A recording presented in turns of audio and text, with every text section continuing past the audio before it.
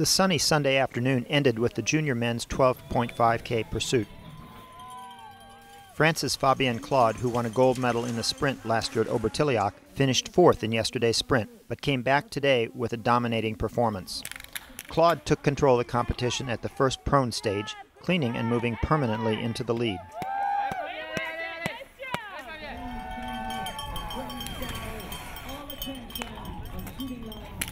He added a single prone penalty in the next stage, cutting his lead to six seconds, but all of his closest rivals were also missing shots.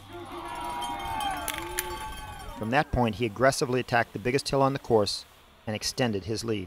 Uh, I was in a good shape and uh, my glide was uh, very, very uh, amazing and uh, it, uh, it's good for all the team. Although he had three penalties in the standing stages, Claude was never challenged.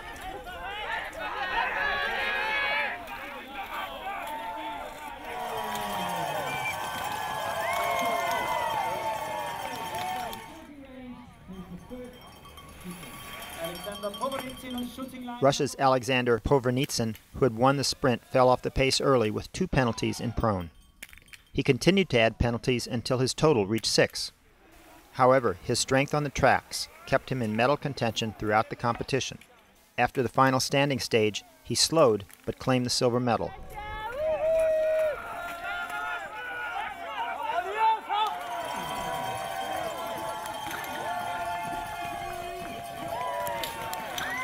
Norway's Gjorven, the bronze medalist, only moved into that spot after cleaning the two standing stages and flying around the final 2.5k loop back to the stadium. I'm very happy to have a, a gold medal, so uh, there is a, still one race at uh, the individual and uh, I want to be great and after the relay is very important for the French team. After three competition days, the athletes will get a day off before competition resumes on Tuesday with the youth individuals.